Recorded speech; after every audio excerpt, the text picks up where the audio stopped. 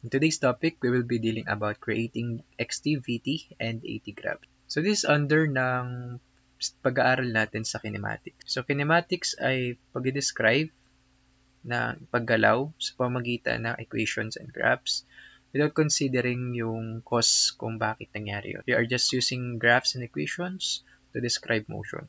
Okay? So sa video na ito, pag-usapan natin kung paano gagawa ng position time graph, which is XT graph, paano gagawa ng velocity time graph, PT graph, at pag-usapan natin kung ano ba yung uh, average velocity at yung instantaneous velocity, ano ba yung pinagkaiba nila, at kung ano ba ang velocity, at, and also how to create acceleration time graph. Speaking of motion, ang motion ay defined as pagbabago sa posisyon with time. So kung gagawa tayo ng XT graph, kailangan nating i-consider ang time, oras, position, which is x. Okay? So, kuha tayo ng isang example. Sa example na to, titingnan natin kung paano ba nagbago yung position ng object with respect sa oras. Kita natin to sa example na at time 1 second, ang position ng ating object ay nasa 5 centimeters. At 2 seconds, siya ay nasa 5 cm pa rin. 3, 4, 5 cm. So, kung gagawin natin ang graph niya, we have x o position sa ating vertical axis. Tapos naman, yung ating time sa ating horizontal axis. Take note, wala nga palang negative time.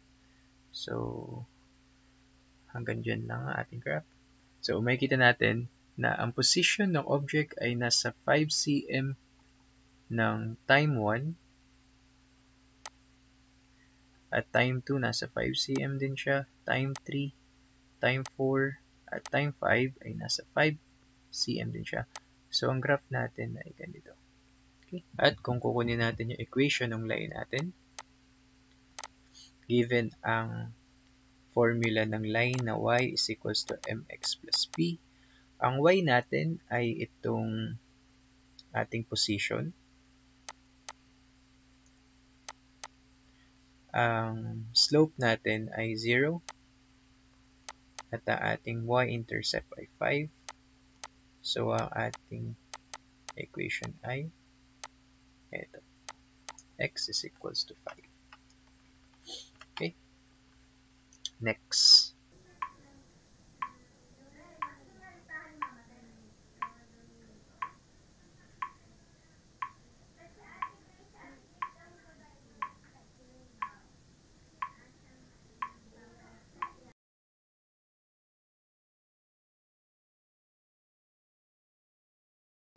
Yung XT graph nitong ating object. So, we have x ulit sa vertical axis tapos meron tayong time sa ating um, horizontal axis. So, ang x muna natin ay cm. Okay? So, mamaya na lang natin ito convert into meter. Ipa-plot natin yung mga label. So, at time 1 second, ang position ng ating object ay nasa 1. At time 2 ay nasa 2. At time 3, siya ay nasa 4. So, ito, 4. Time 3 at time 4, ang kanyang position ay nasa 6. So, ito. At time 5, ang position niya ay nasa 8. So, ito. At time 6, ang position niya ay nasa 10. So, ito yung 10 natin. So, probably dito siya. Katapat ng ating. So, ikapag-connect natin yung mga lines.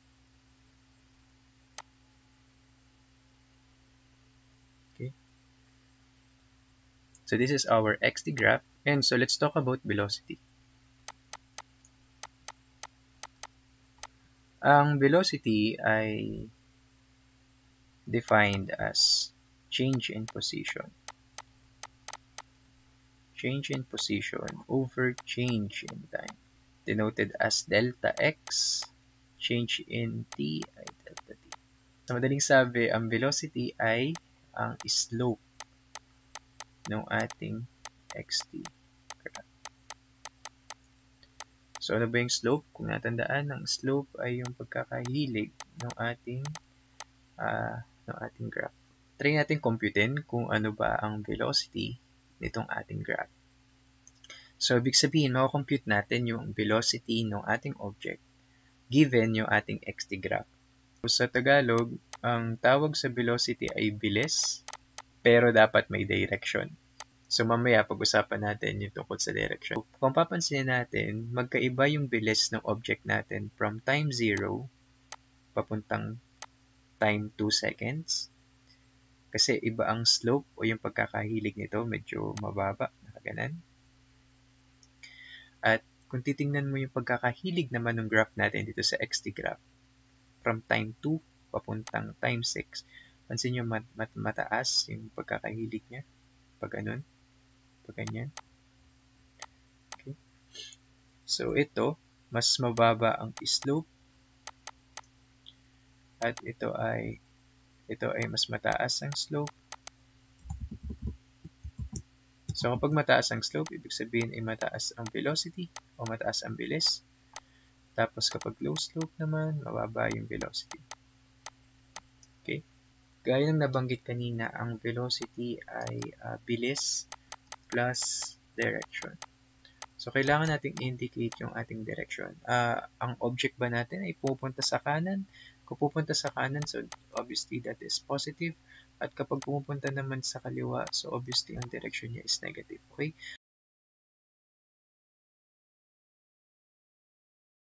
So, paano malalaman sa xt graph? So, kung ang xt graph natin ay pag ganitong slope, so ibig sabihin, ito ay positive slope.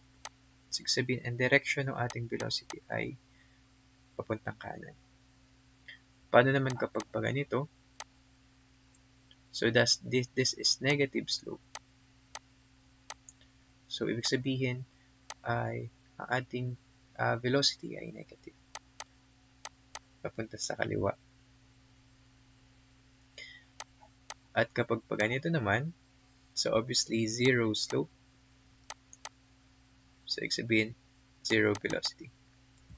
Walang bilis. So, paki, pakitandaan Okay, so again, in this example naman, may kita natin, ang tanong is, um, refer to the xt graph at the left for what time is the speed of the object rated. So, hinahanap natin is, saan daw yung speed na pinakamataas? So, saang speed yung pinakamataas? So, meron tayong choices dito. So, kung titingnan natin yung xt graph, again, di ba, ang velocity ay bilis na may direction. Uh, bilis, so speed lang naman ang hinahanap natin. So, hindi natin ko-consider yung direction. Kapag hinahanap ang velocity, di ba, that is the slope of xt graph, check natin kung saan ba yung pinakamataas na slope. Yun yung sagot natin. So, check natin. From 0 to 2 seconds, kung papansin nyo, yung slope natin ay 0. So, hindi ito, obviously. Okay. So, ito naman, itong slope niya. At ito yung isa, ito yung slope niya. So, papansin nyo, mas mataas ito kaysa dito. So, ito yung um,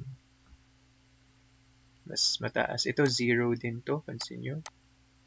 Walang slope. Ito, low. Baba yung slope niya.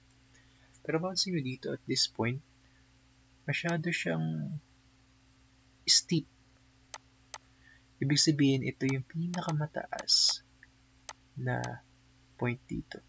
At yun ay nasa time 4 seconds. So, ang answer natin dito ay C.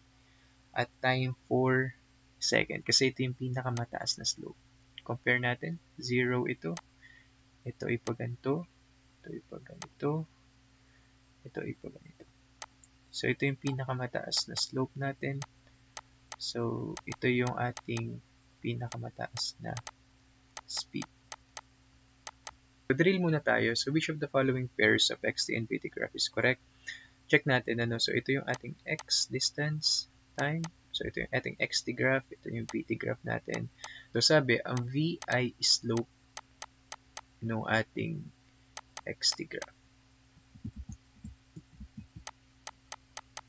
Okay? So, check natin.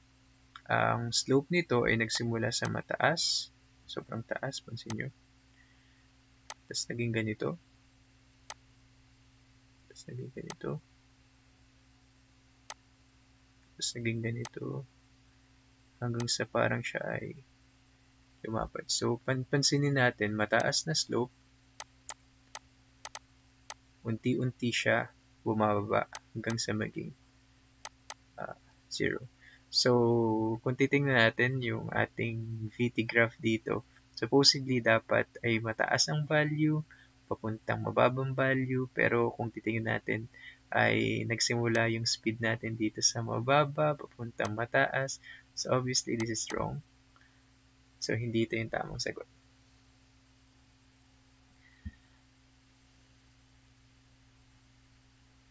check natin naman yung ating V.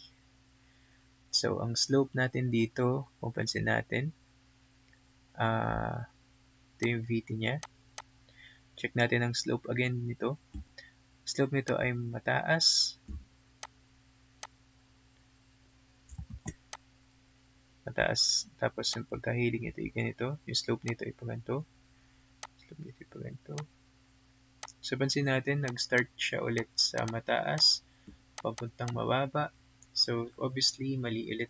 So, mataas dapat na slope. Pero nag-start ulit siya sa zero. So, obviously, dapat sa mataas siya magsisimula. So, ibig sabihin ay mali ito. Check naman natin itong pangatlo. Ang slope nito ay nagsimula siya ng ganito. Yung pag ganito. Pag ganito. So, pansin nyo, uh, hindi nagbabago yung slope niya. No changes sa slope. Nag-start siya sa ganitong pagkahilig. Natapos siya ng ganitong pagkahilig. So, walang pinagbago ang kanyang uh, ang kanyang slope. So, obviously, dapat ang kanyang VT graph ay hindi ganito. Kasi pansin mo, nag-search siya sa mababa, tumaas. Pero sabi dapat kasi hindi nagbabago slope. So, i-correct natin. Ano ba yung mga tama? So, kung ito yung given natin, kung ito yung given natin, na, na XT graph. So, i-correct natin, ano? Kung ito yung given natin na, na XT graph, so ito, XT. At pag ganito siya. So, obviously, dapat ang kanyang uh, VT graph ay kasi mula siya sa mataas, sa mataas, hindi dito, zero, mataas na V, papunta sa mababang B. Actually, naging sobrang baba na wala ng slope dito. So, obviously, zero yun. So, dapat ang v, VT niya ay mula mataas papuntang baba. Pag ganun. So, this is the correct one. This is the correct answer para dito. Ito yung tamang VT ng itong XT graph na to. Okay? So, how about this naman? Kapag pa ganito naman ang ating uh, xt graph, sorry, medyo nag-curve, pero supposedly dapat ito ay straight lang. Kapag ganito ang ating xt graph, so obviously ang ating vt graph dapat, pansin mo, hindi nagbago yung slope niya. Nag-start siya sa ganitong amount. So, obviously, hindi zero yan kasi ang zero ay ganito. Di ba? hindi zero ang slope niya, may hilig siya. So, kung na nandito yun, basta hindi zero, at nagtapos din siya na ganitong pagkakahilig, so hindi nagbago ang kanya pagkakahilig. So, ganito. This is the correct